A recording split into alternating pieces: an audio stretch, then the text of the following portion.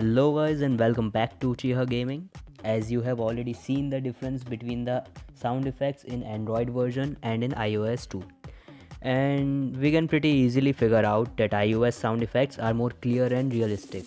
This will also help you in positioning enemy by better footstep sounds etc. So without further ado, let's begin. First of all, let's just minimize the game and remove it from the background now you will need only two things number one is the zarchiver app and the second will be the file which i will provide in the description below. You just simply have to download the file first. Let me download the file. Okay the file will be downloaded.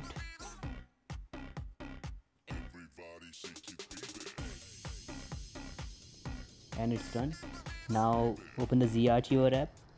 Go to the download section and search for user.ini file.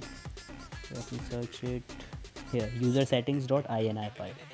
All you need to do is copy or cut then go to device memory android data.